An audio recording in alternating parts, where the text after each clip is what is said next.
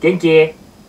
彼氏と別れてめちゃめちゃ落ち込んでるらしいじゃないですか。まあねそれはねあのすごいかわいそうだと思うんですけど終わったことはね一旦こうすっぱり置いといてまたね新しい恋なり新しいチャレンジなりしていくのがやっぱいいのかなとお兄ちゃんは思っております。やっぱ新しいチャレンジって何事も大事かなと本当思いますね。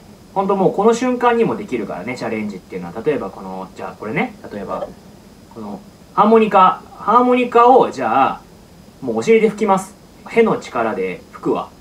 お兄ちゃんは今から。もしお兄ちゃんがへの力で無事ハーモニカを吹くことができたらお前も新しい恋始めよう。じゃあ今からお尻に挟むから。はい。挟んだよ。これでなるかって話だから。しゃあ。来た来た来た来た来た。